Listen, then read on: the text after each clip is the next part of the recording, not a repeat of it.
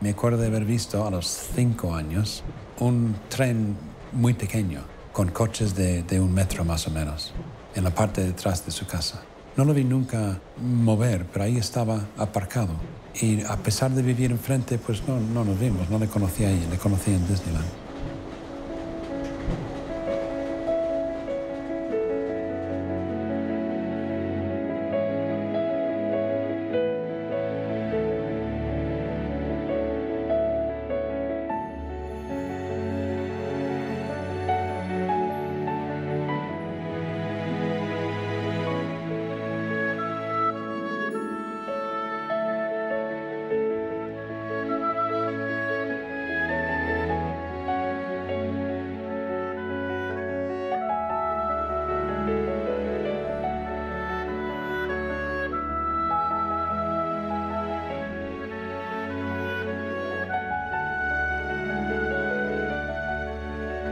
Tito del Amo yo lo, conozco desde que vino aquí, porque el primer amigo que tuvimos acá fue mi padre y mi madre, más mi padre, más mi madre que mi padre.